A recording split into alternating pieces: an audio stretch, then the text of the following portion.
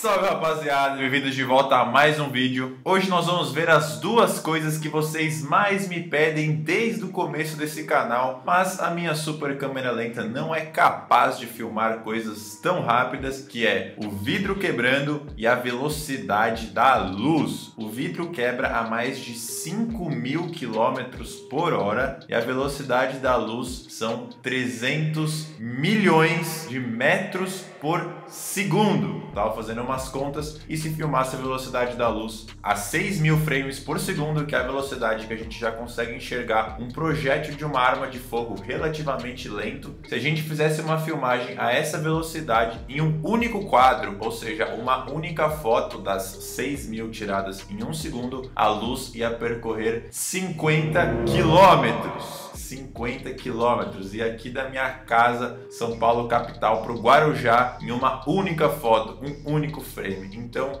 é impossível captar a velocidade da luz com a nossa câmera e para isso tem uns cientistas malucos aqui que desenvolveram uma super câmera lenta que filma a um trilhão de frames por segundo. E no vídeo passado que eu comentei sobre assistir e reagir a esses vídeos, teve um cara que até comentou, Baroni, acho que você tá errado, deve ser um bilhão de frames por segundo, não um trilhão. Não, é um trilhão mesmo. Então a gente vai ver essas duas coisas. Vamos começar pelo vidro, que é o mais lentinho, né? Parece uma lesma perto da luz, mas para nossa câmera já é muito rápido. Até no vídeo recentemente que a gente fez quebrando um vidro, tem umas imagens a 6 mil frames que a gente filmou. E quando o vidro quebra em um, dois frames ali, já dá para ver que o vidro tá todo rachado, não dá para ver as rachaduras se formando. Praticamente instantâneo, muito rápido. Também para a gente conseguir enxergar no detalhe aqui, uma outra imagem em laboratório a 10 milhões de frames por segundo. Mas antes nós vamos assistir aqui um vídeo do Slow Guys que filmaram um vidro quebrando de uma forma muito interessante, muito legal. Eles utilizaram uma Phantom, que é uma super câmera lenta da Vision Research, que foi a primeira pioneira do mundo a fazer esse tipo de câmera, e também é uma câmera que custa apenas, no mínimo, um milhão de reais. São 150 mil dólares, mais imposto, mais frete, mais o caramba, mas é no mínimo assim, ó, chutando baixo, um milhão de reais para ter uma câmera dessas no Brasil e não existe nenhuma dessas no Brasil. Então eles têm essa super câmera lenta, canal que eu sempre recomendo, que inclusive é a minha inspiração para começar esse canal aqui. Ó, eles pegaram uma placa de vidro comprida e fizeram essas divisórias de um pé, né, que é uma unidade de medida americana, que acho que são em média 30 centímetros. E aí eles fizeram essas divisórias e com a super câmera lenta eles vão filmar e vão contar quantos frames, quanto tempo demora para percorrer tal distância e calcular a velocidade que o vidro quebra. Primeiro na câmera normal.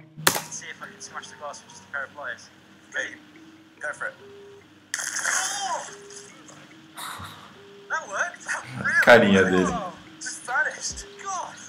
Olha lá.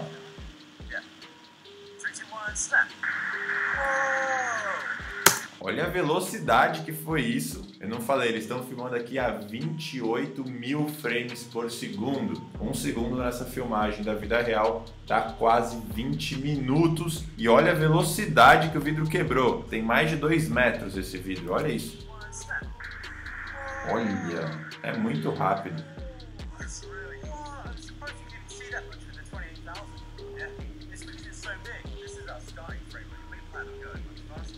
E olha que louco como ele meio que explode, né? Os vidrinhos vão indo pra cima e pra baixo, assim, ó.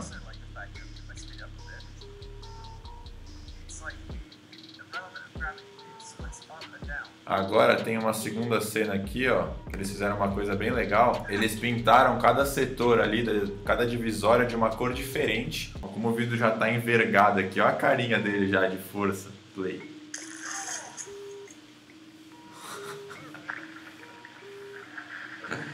A carinha dele é muito boa.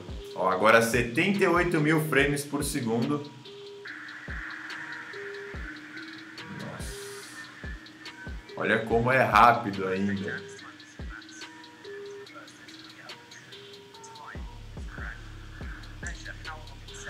Aí aqui, ó, ele pintou de cores diferentes para ficar mais claro, né, mais evidente. E aí ele pegou o tempo que as rachaduras demoraram para percorrer cada pé ali, fizeram uma média dos sete, porque tiveram tempos diferentes, e calcularam com a distância e o tempo a velocidade.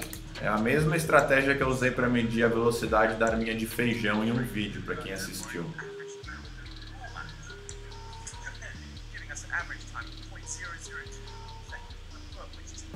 4.758 pés por segundo. Aí ele fez a legendinha aqui, ó, 1.458 metros por segundo. A luz são 300 milhões. 5.250 km por hora.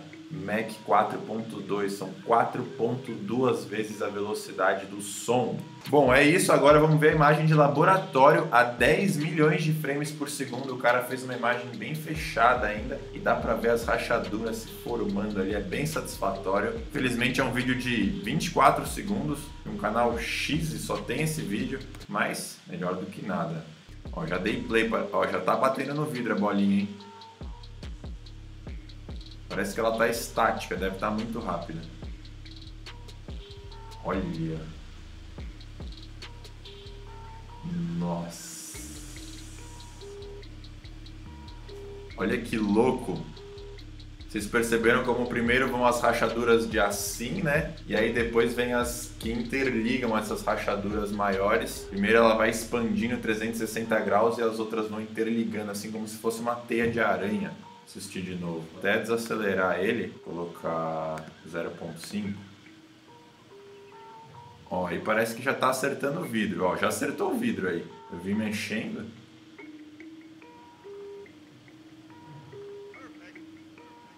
Nossa, essa câmera tá muito lenta para enxergar isso devagar, hein? Ó, olha só como vai interligando aqui, tá vendo? Ó, primeiro vem essa rachadura principal e depois vem as outras interligando. Perfeito. Essa imagem está com menos contraste, não sei se é a mesma, mas ó, tá um ângulo mais aberto. Play. Olha, essa tá bem mais menos nítida, mas olha que animal. Olha isso. Cortou no meio o negócio. Ia começar a interligar tudo aqui, ó. Esse foi o nosso vidro quebrando em super câmera lenta.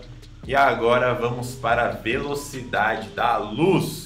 Então vamos lá, primeiro tem um vídeo aqui que eu separei para vocês entenderem meio que o setup dos caras, né? O Instituto de Tecnologia de Massachusetts, o MIT. Aqui está o corpo da câmera, olha o tamanho da bichona. Olha, eles vão passar esse laser aqui com um impulso muito, muito suave, um laser muito fininho.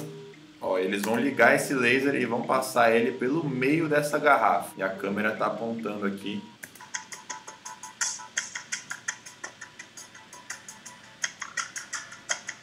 Olha isso! Olha o formato de onda aqui, ó.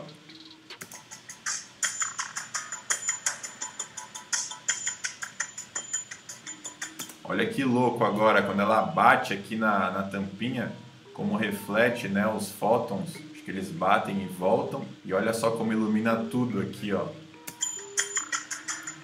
Ó, essa altura a luz já saiu aqui da garrafa, mas olha como retém o reflexo aqui.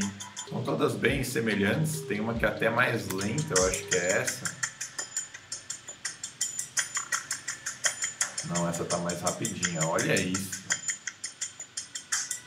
Os caras conseguiram filmar a luz em câmera lenta. Um trilhão de... Ah, tem um TED, uma palestra do cientista principal que desenvolveu essa câmera, e ele fala que se filmasse um tiro de arma de fogo com essa câmera nesse intervalinho dessa garrafa, ia demorar mais de um ano para o projétil atravessar a garrafa. Para vocês terem noção da velocidade que essa câmera está filmando para a gente enxergar isso aqui. Mais de um ano para um tiro atravessar essa garrafinha. Ó, essa tá ainda mais lenta.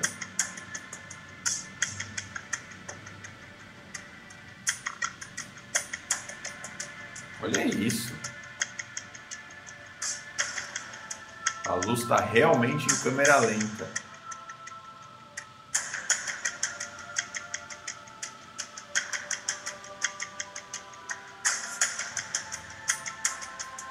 E, ó, mais legal é quando ela bate na tampinha, ó. Ilumina tudo, ó. Pum, acertou a tampinha, olha como ela reflete e volta.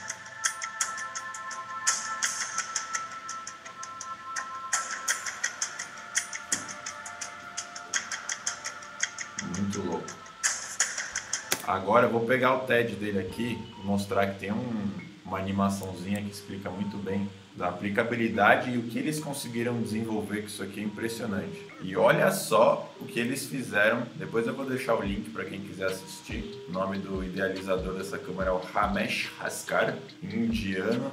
Eles querem usar a tecnologia dessa câmera para meio que enxergar através da parede. Como é que funciona? Tem a lente da câmera aqui, dessa câmera ferrada, um laser. O laser vem, sai, bate aqui na porta, reflete para todos os lados, 360 graus os fótons, vem, bate no objeto, reflete de novo 360 graus, alguns fótons vêm, batem aqui, 360 graus de novo, voltam para a lente da câmera e aí com um monte de cálculo maluco lá com o algoritmo, eu vou mostrar aqui, eles vão conseguir reconstruir uma imagem através do reflexo da luz em uma parede. Ó, esse aqui é o setup, tá aqui a câmera, a lente da câmera zona lá pica, tem um laser alinhado aqui com a lente que vai sair de algum lugar. Eles vão projetar o laser nessa porta e vão reconstruir a imagem desse manequim escondido aqui. Ó, o laser sai, rente a lente da câmera, bate no muro. Quando ele bate, os fótons vão 360 graus para todos os lados. E aí cada fóton que bate ali no manequim também reflete 360 graus. E aí cada fóton que bate ali na porta reflete 360 graus de novo. E aí aos poucos, esses aos poucos, né? Isso aí demora um, sei lá, eles chamam de picosegundo, não sei quantas milhões de frações de segundo é que demora. E os fótons entram na lente da câmera em tempos diferentes, né? E aí eles desenvolveram um algoritmo no computador que calcula a diferença que esses fótons demoram para bater no sensor e ele reconstitui a imagem que estava atrás da parede. Olha isso que loucura. E olha só, ele vai mostrar agora a reconstrução da imagem. Mostra aqui calculando o tempo, a distância que cada fóton demora. E como são vários fótons diferentes,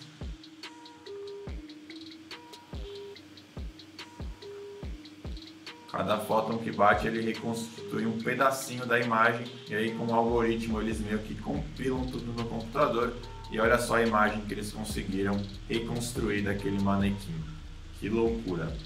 Pesado, né? E para que, que serve isso? Aí ele mostra aqui o que eles pretendem usar com essa tecnologia. Por exemplo, se tivesse sensor num carro, você vai conseguir ver se está vindo outro carro e evitar uma colisão. Ele vai usar essa tecnologia para identificar um carro em um ângulo que você não consegue ver a olho nu e futuramente evitar um monte de acidentes de trânsito. Outra utilidade é bombeiros. Se eles tiverem esse tipo de câmera aqui, esse equipamento estiver pegando fogo num prédio, eles podem lançar aqui, ó, através de uma janela, o negócio bate, faz um scan atrás da parede, volta e eles conseguem ver se tem alguma pessoa, algum sobrevivente, sem ter que entrar e perder tempo entrando em cômodos vazios. Também dá para usar em cirurgias. Você consegue ver aqui, ó, uma colonoscopia está mostrando, né? Você consegue entrar com a câmerazinha e enxergar todos os ângulos dos órgãos, ó, no coração também. O negócio vem, bate aqui, você consegue ver lugares que você não conseguiria enxergar com uma outra câmera através dessa câmerazinha.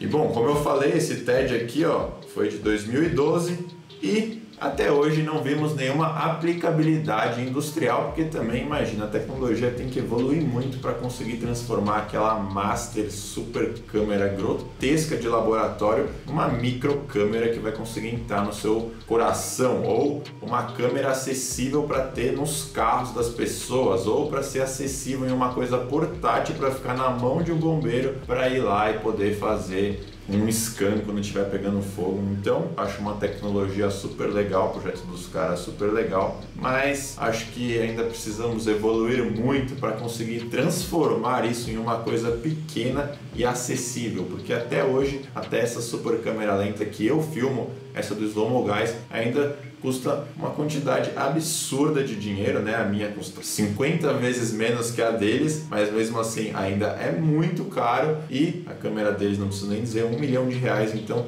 nem essas câmeras ainda existem a um preço acessível para as pessoas. Imagina essa aqui filma a um trilhão de frames por segundo, mas não deixa de ser muito interessante poder enxergar a velocidade da luz. Espero que vocês tenham curtido. Esse é o vídeo de hoje. Se você gostou, chegou aqui até o final. Não esquece de deixar seu likezinho. E a pedido de vocês, eu reativei meu Instagram. Segue lá esse que tá aparecendo aí na tela. Vou voltar a postar uns negócios lá. E é isso. Vejo vocês em breve. Tamo junto. Até a próxima. Valeu. Fui.